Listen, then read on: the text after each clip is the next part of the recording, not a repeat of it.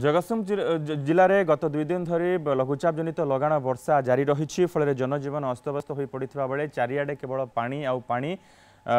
খালুয়া অঞ্চলের ব্যাপক পানি জমিবা হেতু কৃত্রিম বন্যার বন্যা সৃষ্টি হয়েছে তলিয়া অঞ্চলের কেতক স্থানের লোকে জলবন্দী বি রয়েছেন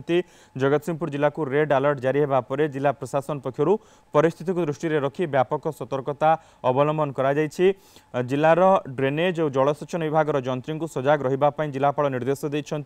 উদ্ভূত বর্ষা জল নিষ্কাশন বিভাগীয় যন্ত্রী মানে স্বতন্ত্র ব্যবস্থা করা সহিত সমস্ত ব্লকর বিডিও তহসিলদার মানে সজাগ রহবা কুহযাই আবশ্যক হলে জলবন্দী লোক ଲୋକମାନଙ୍କୁ ନିରାପଦ ସ୍ଥାନକୁ ଆଣିବାକୁ ଜିଲ୍ଲାପାଳ ନିର୍ଦ୍ଦେଶ ଦେଇଛନ୍ତି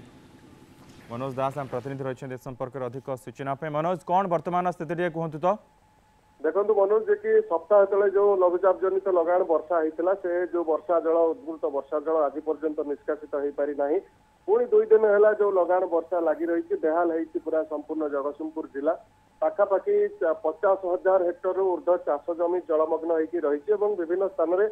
ପୂର୍ବ ବର୍ଷା ଠାରୁ ପାଣି ଲାଗି ରହିଥିବାରୁ ଧାନ ଗଛ ଗୁଡିକ ସମ୍ପୂର୍ଣ୍ଣ ସଢିଯାଇଛି ଏବଂ ବିଭିନ୍ନ ସ୍ଥାନରେ ରାସ୍ତା ଏବଂ ଗାଁ ଯୋଉ ତଳିଆ ଅଞ୍ଚଳ ଗାଁ ଗୁଡିକ ରହିଛି ସେ ଗାଁ ଗୁଡିକ ବୁଡି ଯାଇଛି ତାରପୁର ଅଞ୍ଚଳରେ ତାରପୁର ଗାଁ ପାଖାପାଖି ଚାଳିଶରୁ ଉର୍ଦ୍ଧ পরিবার সম্পূর্ণ ভাবে জলবন্দীরে রয়েছেন এবং গত সপ্তাহ তলে সে জলবন্দীরে লে সে জল নিষ্কাশন হয়ে পারি না এবং আজি পুড়ি বর্ষা দুই দিন হল লাগি রহলা পরে সে গাঁর লোক মানে বেহাল হয়ে পড়ছেন মুখ্যত দেখা যাই জেলাপাল কার্যালয় হোক সেটি জলানব হয়েছে বিভিন্ন সরকারি কার্যালয়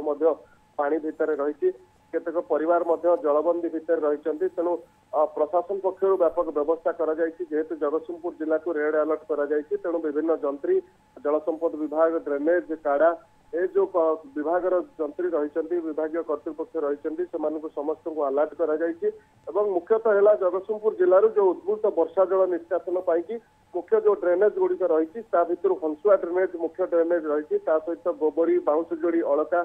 নাগপুৰ মাধপুৰ ଯୋଉ ବିଭିନ୍ନ ଡ୍ରେନେଜ ରହିଛି ସେ ଡ୍ରେନେଜ ମାଧ୍ୟମରେ ଜଳ ନିଷ୍କାସନ ହେଇଥାଏ ଉତ୍ଫୁଲ୍ଲ ବର୍ଷା ଜଳ କିନ୍ତୁ ଦେଖାଯାଇଛି ଡ୍ରେନେଜ ଗୁଡିକ କେତେକ ସ୍ଥାନରେ ଜବରଦଖଲରେ ରହିଛି ଏବଂ କିଛି ଅସାଧୁ ବ୍ୟକ୍ତି ମାଛ ଧରିବା ପାଇଁ ଡ୍ରେନେଜକୁ ବିଭିନ୍ନ ସ୍ଥାନରେ ଆଡି କରି ଅବରୋଧ କରିଛନ୍ତି ଯାହାଫଳରେ ବର୍ଷା ଜଳ ନିଷ୍କାସନ ହେଇପାରୁନାହିଁ ତେଣୁ ତାକୁ ନେଇକି ଗୋଟେ ଚାଷୀଙ୍କ ଭିତରେ ମଧ୍ୟ ତୀବ୍ର ଅସନ୍ତୋଷ ପ୍ରକାଶ ପାଇଛି ଲୋକଙ୍କ ଭିତରେ ଅସନ୍ତୋଷ ପ୍ରକାଶ ପାଇଛି ଥରୁ ଟିକେ ଅଧିକ ଲଗାଣ ବର୍ଷା ହେଲେ ପାଖାପାଖି ପନ୍ଦର ଦିନ ପର୍ଯ୍ୟନ୍ତ ପାଣି ରହୁଛି ନାଉଗାଁ ଅଞ୍ଚଳର ନନିଗାଁ ମୋହନା ଡାବର ଏଇ ଯୋଉ ଗାଁ ଗୁଡିକ ରହିଛି ଏ ଗାଁରେ ଦୀର୍ଘ